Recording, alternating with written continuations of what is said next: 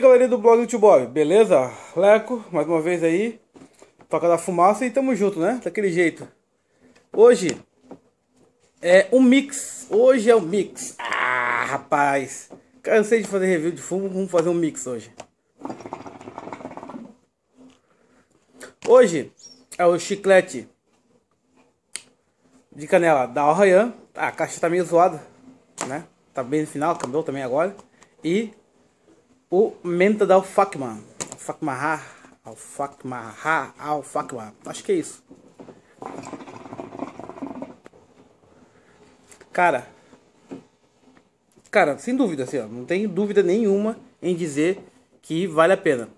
Uma porque a menta da Facma ela não é forte, assim, ela não é aquela menta é, gelada, assim, ela é uma menta bem suave, bem gostosa de fumar, né? Até um torna-se um pouco sem gosto se ela fumar ela pura, tá? Por isso que eu fiz a mistura.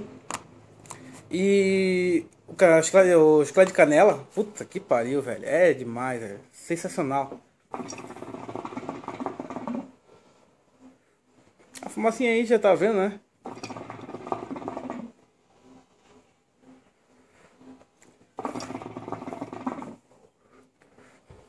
Cara, não tem mistério. 50-50 no Roche, né? Tô fumando aqui no meu Camanja. Ah, agora tô com mini Camanja. Ah, já melhorou, já, já evoluímos. Eu mostrar aqui. O mini Camanja e o Atomic V2 tal. Acabou quatro pedras de Coco King, o cúbico. Beleza? Cara, não tem muito o que falar porque é uma mistura básica, assim, simples. Apesar de ser simples, muita gente nunca tenta.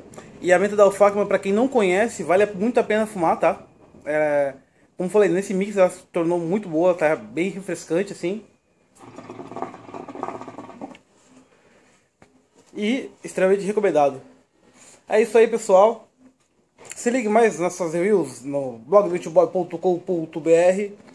e também visite o site tiobob.com.br também.